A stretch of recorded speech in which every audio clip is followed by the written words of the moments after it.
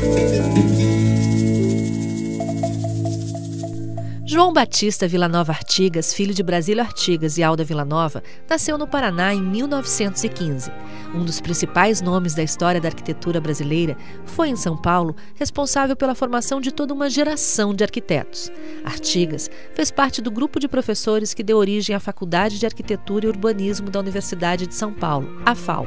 Foi exilado no Uruguai em 1969 pelo regime militar, voltando ao Brasil dez anos depois, graças à anistia.